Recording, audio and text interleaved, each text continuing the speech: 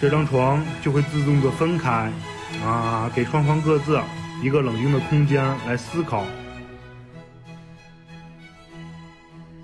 只需要把它打开，像这样高举头顶，拧开之后，这样，它是全封闭式的，啊，空气的来源是我身后的这个小氧气瓶。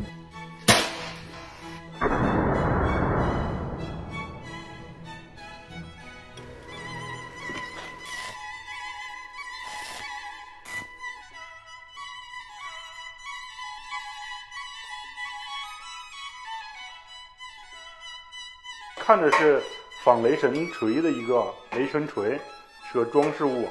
其实它是一个背包，我们可以啊背着它去逛街之类的。这样背着它就是特别有安全感这么一个物品。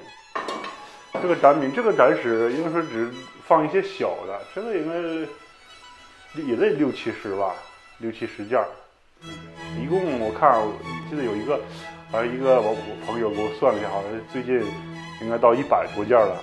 我也喜欢这种生活方式，我很满足，也很满足现在的生活。你有梦想追求不一定会实现，但是说你不去追求就一定不会实现。呃，我觉得是这样的，至少给自己一次追求的机会。